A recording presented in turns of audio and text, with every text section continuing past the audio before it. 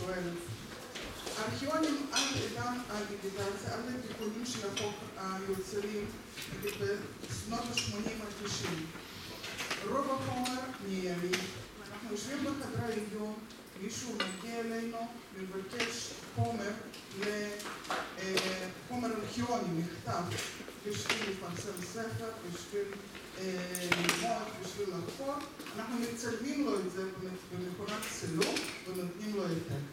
מגיע ורוצה ספר, אנחנו אומרים, רגע, רגע, אנחנו לא יכולים לצלם את זה מהספר, אתה יכול לבד לצורכי מחקר, אנחנו לא יכולים.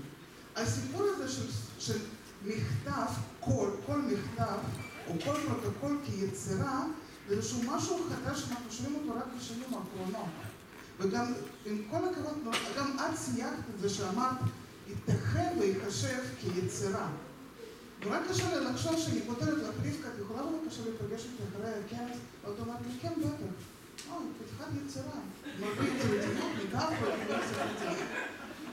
אבל זה מכתב, זה מכתב מנהלי. אנחנו, לפי מה שאתם אומרים, אוקיי, אנחנו דיברנו עכשיו על מה כן אחד הכלל, אבל לפי מה שאתם אומרים, רוב הדברים ברוב הארכיונים, כמו שציינת, מדינה צעירה, עם כל מכתב, כל פתק, כל פיץ קטן שאנחנו כותבים תוך כדי התנהלות היומיומית שלנו, ושומרים את זה בארכיון, נחשב כיצירה, כי גם סריקה, כי גם סריקה זה העתקה. ועוד פעם, אני לא עושה את זה לצורכי מחקר שלי, אני עושה את זה בשביל להנגיש את זה לקהל הרחב. אז זה אומר שאני מפירה זכויות. אבל זה שימוש הוגן. עכשיו, בחוק יש הגדרה של יצירה, וכן יש שם, אני חושבת, אלמנטים של יצירה, ורבקה, תפגשי איתי אחרי הכנס, לא